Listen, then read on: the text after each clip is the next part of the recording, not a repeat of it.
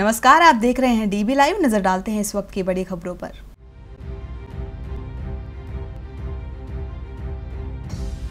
Nagrota army unit में हुए आतंकी हमले के हालातों का जायजा लेने हेडक्वार्टर पहुँचे सेना प्रमुख दलबीर सिंह सुहाग।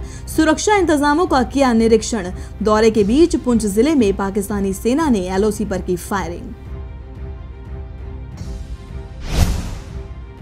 संसद में गूंजा, नगरोटा, आतंकी हमला, शहीदों को श्रद्धांजलि नहीं देने पर भड़का विपक्ष। कांग्रेस ने सरकार पर संसद का नियम तोड़ने का आरोप लगाते हुए सदन से किया वॉकआउट वही सरकार ने कांग्रेस पर राष्ट्रीय सुरक्षा और देश के जवानों पर राजनीति करने का लगाया आरोप।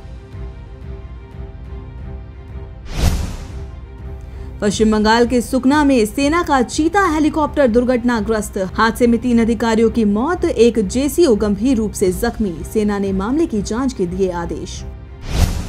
राष्ट्रगान पर सुप्रीम कोर्ट का बड़ा फैसला।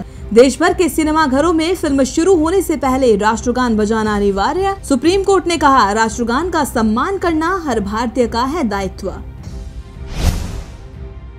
शादी के बंधन में बंधे युवराज सिंह और हेजल कीच फतेहगढ़ साहिब में लिए शादी के फेरे, शादी में परिवार और खास मेहमान रहे मौजूद।